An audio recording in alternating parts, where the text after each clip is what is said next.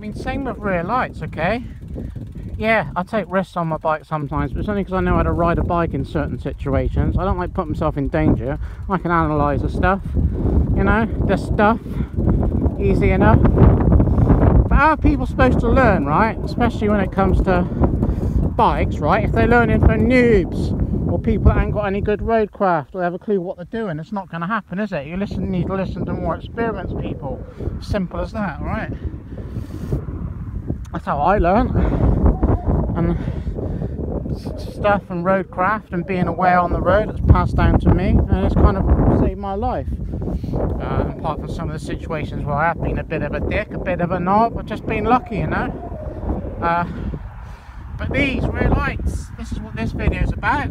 And I've made a few of these videos, if not loads, shed loads, about the importance of rear lights and some of the roads and situations I've cycled on need good lights. You can have Mickey Mouse lights if that's all you can afford or that's all you want to chuck on your bike. They're alright with fresh batteries if you commute or whatever. Um, but you know, shitty brackets, lights fall off, uh, lights break, lights get water in them, but good quality lights. Uh, I don't know if you can get those anymore.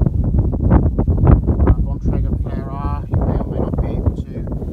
This one down here is uh, a second light I had from uh, Niteflux because the, the first one I had uh, spontaneously combusted or something. I don't know if water got in there. Well, obviously some moisture got in there, and uh, the battery just started to sizzle away, and uh, quite the firework. I put it in a bucket and just kind of watched it from a distance. It didn't like go off like a firework, but it just like melted and sizzled away. You'd expect an explosion any minute, but it didn't. I was disappointed.